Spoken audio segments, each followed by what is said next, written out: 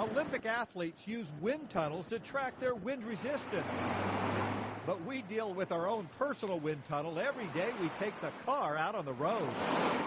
When it comes to mileage, the weight, design, and engine that comes with your car makes a difference, but it's the wind that really drags things down. Do you drive any differently to try to save on gas mileage?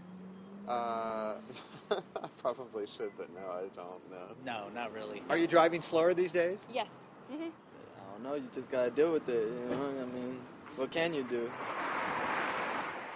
What you can do, according to author and professor Joe Katz, is slow down. Wind resistance becomes the main culprit as you start going faster. Professor Katz says the faster you go, wind resistance becomes a bigger and costlier equation. Therefore, you have to press the pedal more, you need to put more gas and more energy. That's very simple.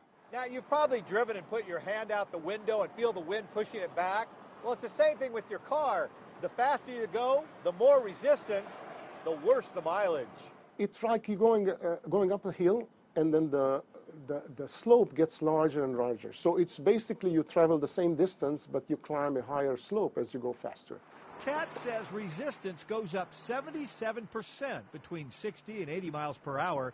That could drop your fuel economy by 4 to 8 miles per gallon. And I'm more conscious about driving the speed limit so that I, I save a few miles Well- per gallon there.